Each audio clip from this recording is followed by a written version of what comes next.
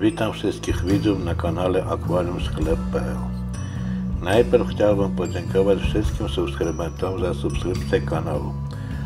Bohaterem filmiku jest jeden z mniejszych, bardzo atrakcyjnie ubarwiony gatunek z rodziny tęczankowatych Modro Getrudy, pseudomugil Getrudy.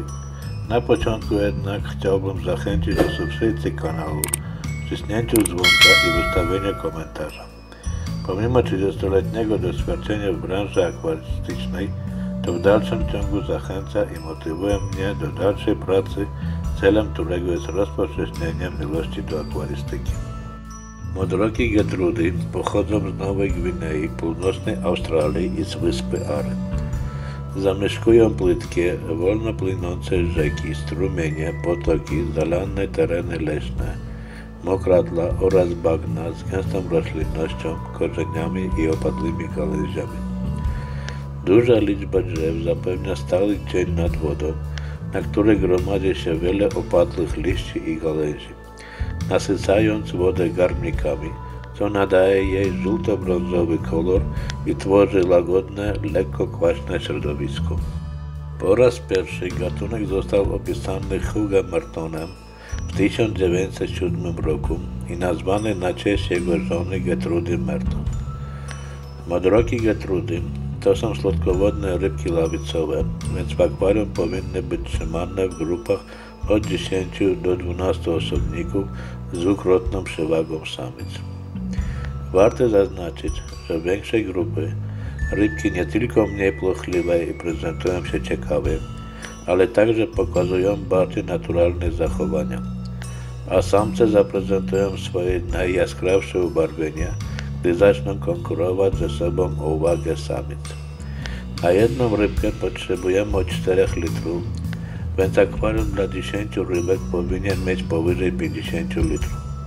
Dorastają do 4 cm, płodność osiągają w wieku 12-13 miesięcy, żyją do 2-3 lat. Modroki getrudy mają niskie, wydłużone, i lekko spłaszczone po bokach ciało z dość wysoko umieszczonymi płetwami piersiowymi, dwoma ciemno nakrapianymi płetwami grzbetowymi, oddzielonymi niewielką szczeliną, z których pierwsza jest znacznie mniejsza od drugiej. Występują w różnym ubarwieniu w zależności od miejsca występowania. Najczęściej spotykana odmiana to żółta, ale dostępne również odmiany niebieska i biała tęczówka oka niebieska. Płetwa grzbetowa, odbytowa i ogonowa są jasno-niebieskie z wieloma czarnymi kropkami. Wzdłuż tylnej części ciała biegną trzy ciemne pręgi. Rozróżnienie płci jest łatwe. Samce bardziej jaskrawsze, a płetwy grzbetowe i brzuszne bardziej wydłużone i ostrzej zakończone. Samice natomiast są bladsze i mniejsze.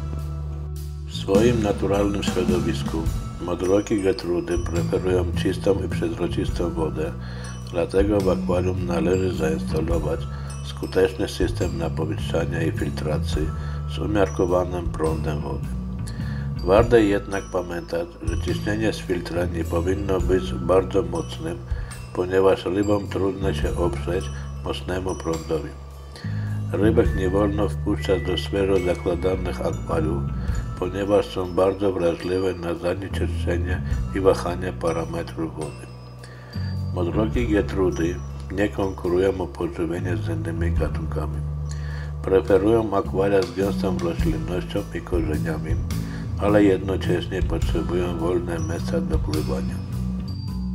Zbiornik powinien być obficie obsadzony roślinnością. W akwarium powinny znajdować się liczne kryjówki, korzenie i gałęzie i pływające rośliny. Światło powinno być rozproszone. Akwarium powinno być zasłonięte szybą lub pokrywą, ponieważ rybki są bardzo skoczne. W akwarium potrzebna filtracja i aeracja wody z tygodniową podmianą do 25-30%. Parametry wody są dość ważne i muszą być stabilne. Optymalne parametry wody. Temperatura 22-27, pH od 6 do 7,5, GH od 5 do 12. naturalnym środowisku motrogi Gertrudy żywią się głównie niewielkimi bezkręgowcami i zooplanktonu. Karmić rybek można drobną ochotką, rurecznikiem, wodzeniem, rozwylitką, ocznikiem, artemią. Dieta powinna być zróżnicowana i bogata w pokarmy mięsne, gwarantujące dobrą kondycję i intensywne wybarwienie ryb.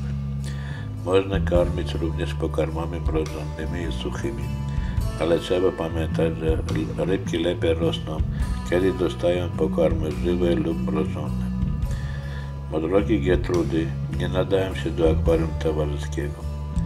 Zaleca się trzymać ich w akwarium gatunkowym lub z rybkami o podobnych wymiarach, takimi jak tęczanka Wernera, razbora galaksy, tetra amandy, neonki i krewetki. Nie poleca się ich trzymać wraz z większymi, ze zwinniejszymi gatunkami, takimi jak brzanki, wylonki, skalary, rybkami drapieżnymi, dużymi pielęgnicami i pielęgnicami z jezior Malawi i Tanganika. Rozmnażanie. Rozmnażanie modroków Getrudy nie należy do łatwych ze względu na obniżoną plodność, deformację średniorybków i krótkie życie ryb. Jaja składane przez młode osobniki w wieku od 10 do 12 miesięcy są najczęściej niezaplodnione i zbyt małe. Nawet w przypadku pełni dojrzałych osobników w wieku powyżej 12 miesięcy ponad połowa ikry była niezaplodniona.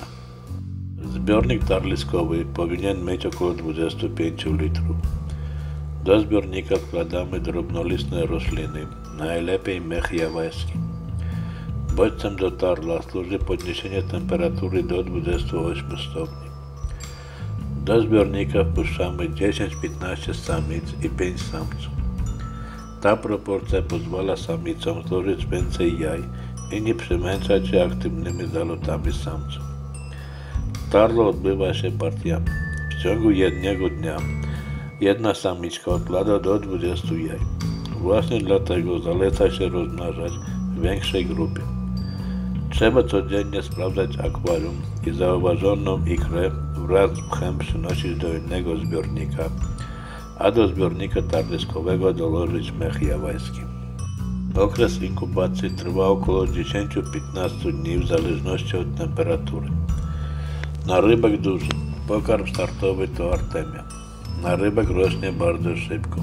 Karmić trzeba często około 5-6 razy dziennie. W pierwszym tygodniu oświetlenie powinno być włączone przez całą dobę. Bardzo ważne, żeby pokarm dla narybków był dostępny cały czas w małych ilościach. Woda w akwarium z narybkiem powinna być zawsze czysta. Potrzebne są ciągle drobne podmiany.